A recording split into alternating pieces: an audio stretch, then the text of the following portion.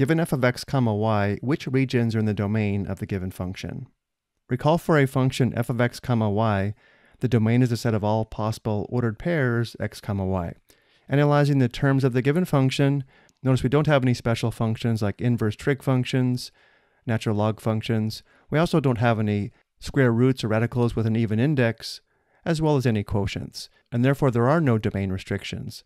This function of two variables should remind us of a polynomial function of one variable, which also has no domain restrictions, and a domain of all reals. In this case, though, because the domain consists of all the ordered pairs x comma y, we can state the domain several ways. We can say the domain has no restrictions.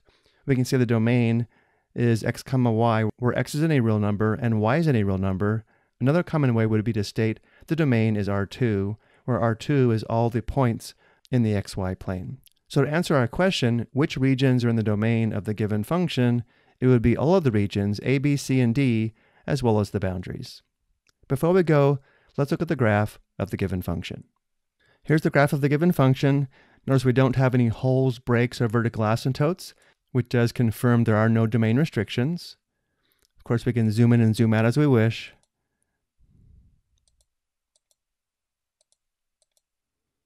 And we won't find any holes, breaks, or vertical asymptotes.